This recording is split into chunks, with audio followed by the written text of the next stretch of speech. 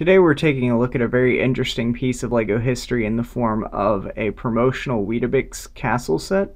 Now Weetabix is a breakfast cereal in the UK and throughout the 70s they did a couple promotions with LEGO where I think it was that you would send in like box toppers or something that you would cut off of a Weetabix box and send that in to LEGO with a little bit of money and they would mail you back a uh, LEGO set in a plain brown box.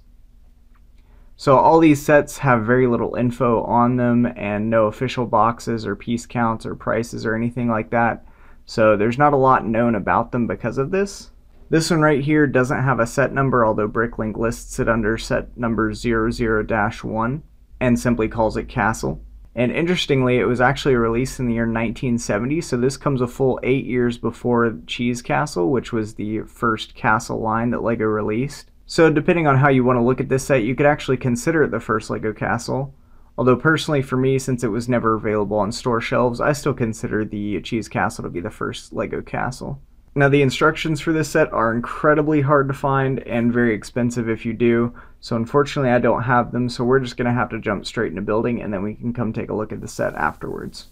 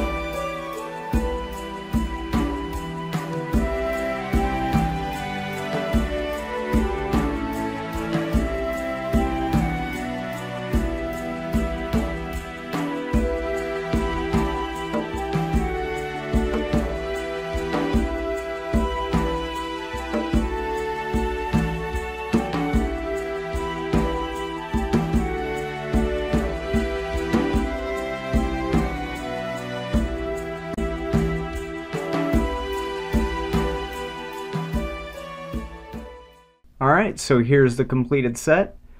Now, I'm sure the most obvious thing about this set is just how ugly these colors are. It's mostly white with the red walls and then the yellow tower in the back there. And then they have a little bit of blue accenting here throughout.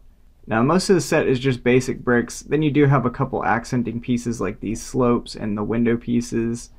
But that's pretty much it. And the scale is pretty interesting too because at the time there weren't any LEGO minifigures.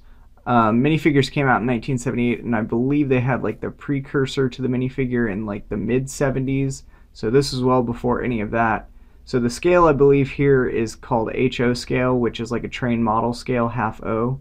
And that was what they used for sets like uh, Town Plan and other stuff in that era where they had the, you know, full metal die cast cars that look completely out of place in LEGO now.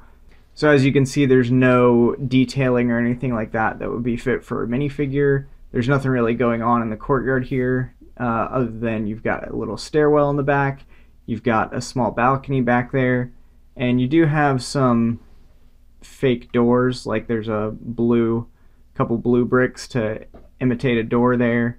There is another door back on that tower, and then one up here on the yellow tower. Although everything on the inside here is just hollow, so there's no details going on inside. Now, like I said, since the set is mostly basic bricks, it's pretty cheap to just bricklink your own, which is what I did here. The only expensive part is that Lego flag in the back there. And there are actually two variants of that. Um, there's one that has the uh, lip on the bottom like this one, just like the other cylinder studs beneath it. And then there's one that goes all the way down to the base with no lip. And I think the other one is a little bit cheaper, but I'm pretty sure that this is the one that came originally in the set because this is the type that they were making during the years that this set was around. So that piece right there is anywhere in the range of like 30 to 50 dollars, um, which is unfortunate. But obviously, you don't have to get a flag if you don't really want it. Now, this uh, UK flag right here is not listed in the instructions. However, I did find a picture of somebody who had the original mailing box and the instructions, and he did have this flag there.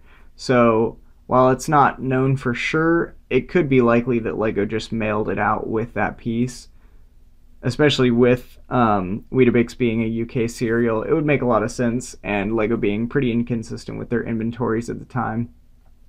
So since I had it, I just put it on there because I like the way it looks, and it's also got the you know two studs at the base, uh, or not the studs, the cylinders, just like the other flag has it there. So to me, it makes sense that it would go there. Apart from that, um, the only other difficult stuff to find are these windows here, and they're not particularly expensive, somewhere between like 50 cents and a dollar each. But just the fact that there's not many in North America, if you're ordering this set from North America, you're probably going to have to order most of these overseas. And then lastly, these base plates on the bottom here are actually 10 by 20 base plates. And those are pretty uncommon too. Again, not expensive, just difficult to find in North America and yeah, I mean, that's pretty much it. That's all this set has going for it. It's definitely more of a display piece than a play piece because there's not really any elements that you can interact with. And as a display piece, it's pretty hideous. I do like the overall design of it. You know, like I like this overhanging parapet here and the nice uh, multi-layered tower in the back, as well as the gate here. So um, I like the shaping, but the colors are just, I mean, they're hideous, but it's a toy, so that's okay. Uh, I definitely don't really keep this one built that often, and it's you know not my not my personal favorite. I just had to get it for the posterity of going you know so far back in Lego's history, and I actually didn't know about it for quite some time until just last year. I just happened to be looking through Bricklink and looking at castle sets as I do, and I found this one sorted under the Legoland theme, so that's why I hadn't seen it before, is because it's not with the other castle sets. Now, like I said at the beginning, we don't have an official piece count or a price for it, so I can't give you an inflated price. And getting a used price on this is also pretty difficult because it hardly ever goes up for sale anywhere, and much less so with instructions. So if I had to guess, I would say without instructions, just bricklinking it yourself would probably cost somewhere between $100 and $200 depending on if you go for the Lego flag or not. And then with the instructions, it could go anywhere up to like 400 or more. So I definitely don't think you should get this set. I just wanted to share this with you guys because probably not a lot of people know about this. Anyways, that is my review. I hope you enjoyed. Thank you for watching.